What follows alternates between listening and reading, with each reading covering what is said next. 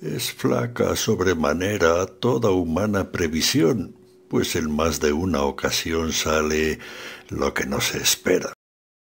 Salió al campo una mañana un experto cazador, el más hábil y el mejor alumno que tuvo Diana. Seguíale gran cuadrilla de ejercitados monteros, ojeadores, ballesteros y de mozos de trailla. Van todos apercibidos de las armas necesarias y llevan de castas varias perros diestros y atrevidos, caballos de noble raza, cornetas de monte, en fin, cuanto exige Moratín en su poema La caza. Levantan pronto una pieza, un jabalí corpulento que huye veloz rabo al viento y rompiendo la maleza. Todos siguen con gran bulla tras la cerdosa alimaña, pero ella se da tal maña que a todos los aturrulla, y aunque gastan todo el día en paradas, idas, vueltas y carreras y revueltas, es vana tanta porfía.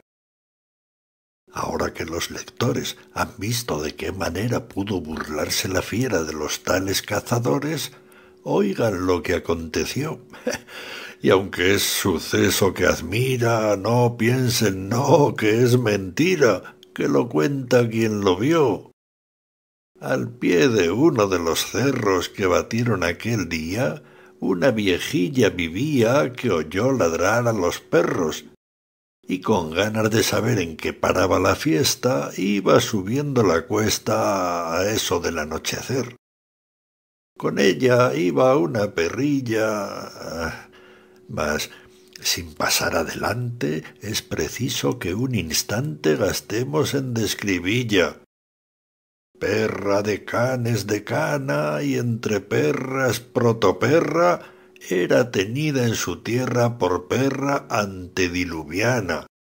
Flaco era el animalejo, el más flaco de los canes, era el rastro, eran los manes de un cuasi semi ex gozquejo.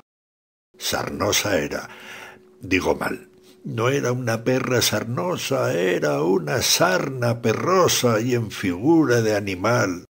Era otro sí derrengada, la derribaba un resuello. Puede decirse que aquello no era perra ni era nada. Al ver pues la bataola, la vieja al cerro subía de la perra en compañía, que era lo mismo que ir sola. Por donde iba hizo la suerte que se hubiese el jabalí escondido por si así se libraba de la muerte. Empero, sintiendo luego que por allí andaba gente, tomó por cosa prudente tomarlas de Villadiego, la vieja entonces, al ver que escapaba por la loma, ¡sus! dijo, por pura broma, y la perra echó a correr. Y aquella perra extenuada, sombra de perra que fue, de la cual se dijo que no era perra ni era nada, aquella perrilla sí, cosa es de volverse loco, no pudo coger tampoco al maldito jabalí.